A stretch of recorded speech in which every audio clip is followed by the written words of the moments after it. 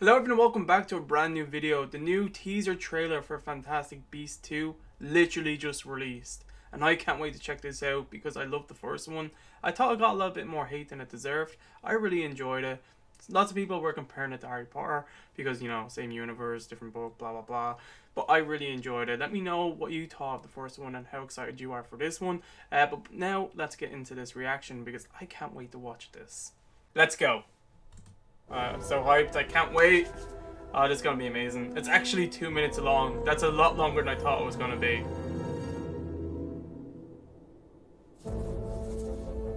Oh, man. I do apologize about the quality. I'm watching this from Twitter. Some questions for you.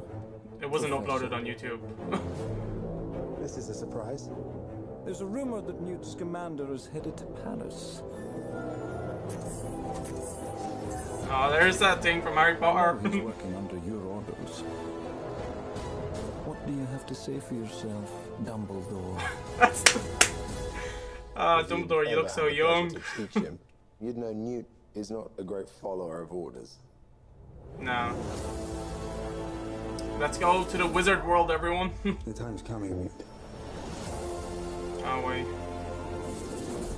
when you're gonna have to pick a side. Oh, well, we know he gets his memories back. no, we're going somewhere. Jeez. November.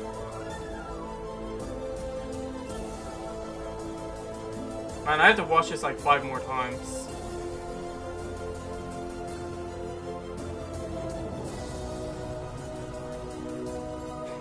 All the beautiful, cute creatures.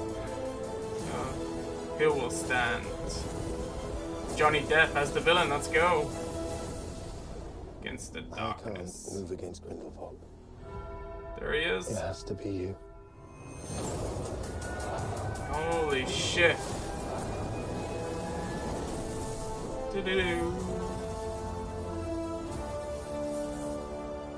The Fantastic Beasts. The Crimes of Grindelwald.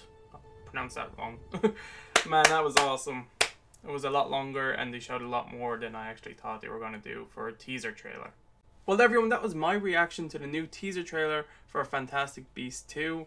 I thought it was awesome. Like, this was a teaser trailer, so we knew they weren't going to show too much. It was just something to tease and get us all hyped and excited. Because we already are, but they wanted to get us even more hyped and more excited. Uh, so this teaser trailer really did that. Uh, Dumbledore looks awesome. It's so weird seeing a young Dumbledore. Like, he's not really young, but he's a lot younger than what he is in Harry Potter. So, young Dumbledore. Uh, the movie looks awesome.